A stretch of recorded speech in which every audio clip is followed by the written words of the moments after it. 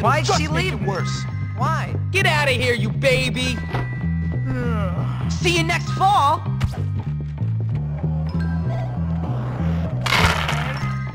Was that an orc or a jock?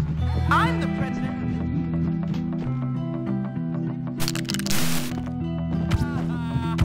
You brought this upon yourself! Ah!